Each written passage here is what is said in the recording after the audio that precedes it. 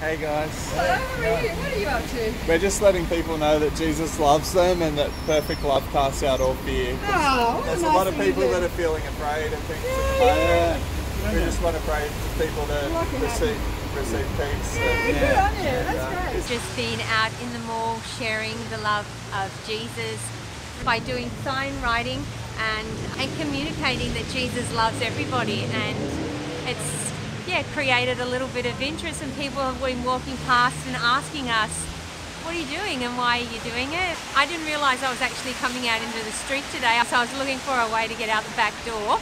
And then I was talking to Emily and I said, Look, I'm good at doing art, so can I come with you guys so I can do their artwork so I don't really have to sort of speak to too many people, but it's a good icebreaker doing the artwork because people come up to you and ask you what you're doing, and it's very natural. So you can just sort of say, "Hey, yeah, I'm, I'm, I'm just doing some sign writing and letting people know that Jesus loves them, and that we'd like to share that with you so that you know that you're loved."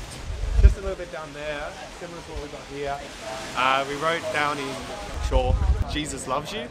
And I quite like it because also there's like a little walkway up there where sort of near the food court people are wandering from their lunch and they can see that.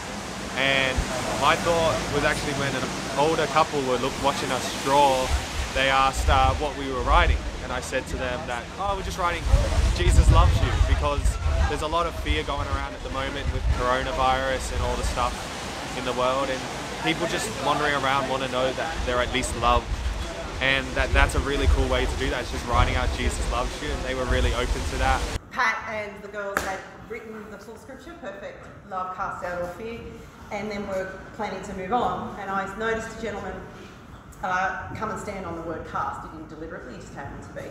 And I knew just hang around here.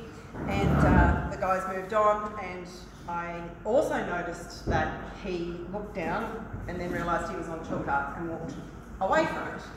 So I took that as an opportunity to approach. I just went and said thank you for acknowledging that you were standing on artwork.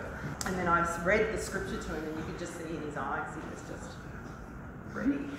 When I asked him, "Are you ready to pray and let Jesus be your Lord and that you want to accept Christ?" He was like, "Yes." So we led him in a prayer, and we just explained to him he's now in the the kingdom of light, and that light is more powerful than darkness.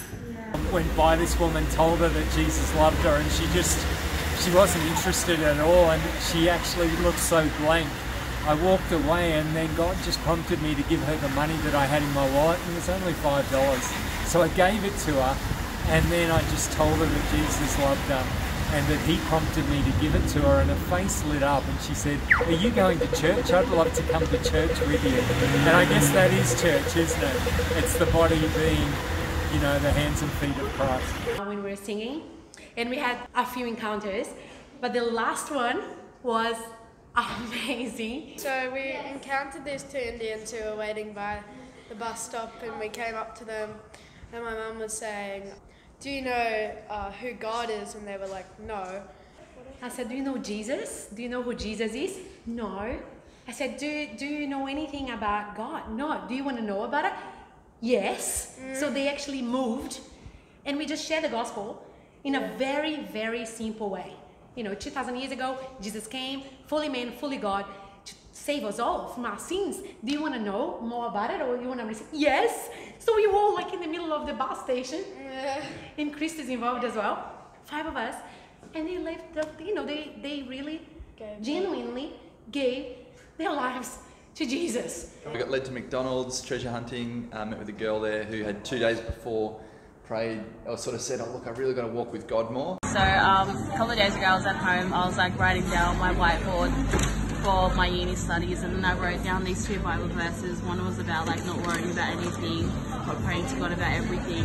And I just wrote them down, and I was like talking to myself like how I need to get really close with God, like until I finish my uni degree. And then now I'm sitting in McDonald's, and then two random guys come up to me, and they're like, "Oh, we want to pray for you." And it was literally like everything I had been thinking about. So yeah, it's weird, but Praise it God. happens for a reason. So Praise yeah. God, huh? Thank you, and I appreciate you guys. Uh, we got led to a shelter up in the middle of the mall.